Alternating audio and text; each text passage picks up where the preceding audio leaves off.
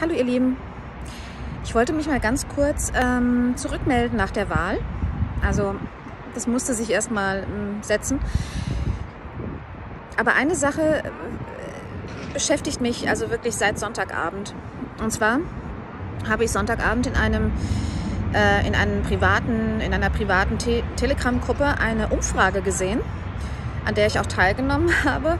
Äh, diese Umfrage wollte wissen, äh, welche Koalition die Leute denn äh, bevorzugen würden. Und das Interessante war tatsächlich, dass ähm, 48 bis 50 Prozent eine Koalition unter Mitarbeit der AfD bevorzugen würden. Und immerhin 33 Prozent sagten, sie hätten gerne Neuwahlen.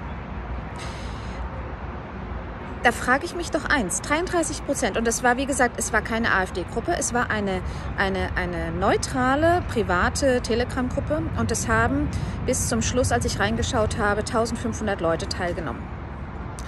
1500 Leute, von denen 33 Prozent sagten, sie hätten gerne Neuwahlen. Sonntagabend. Jetzt frage ich mich tatsächlich, warum möchte man dann Neuwahlen? Denkt man, dass äh, ein Großteil der Leute anders abstimmen würde, wenn man nochmal die Wahl hätte?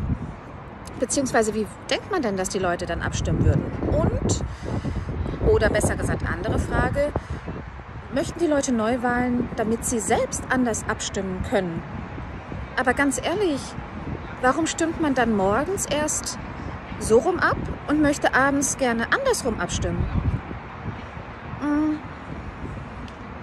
Vielleicht ist einer von euch hier dabei, immerhin 33 Prozent, der auch sagt, er hätte gerne Neuwahlen. Dann es ist wirklich reines Interesse, dann schreibt mir mal in die Kommentare, warum. Warum möchtet ihr Neuwahlen? Möchtet, was wisst ihr jetzt, dass ihr euch anders entscheiden würdet?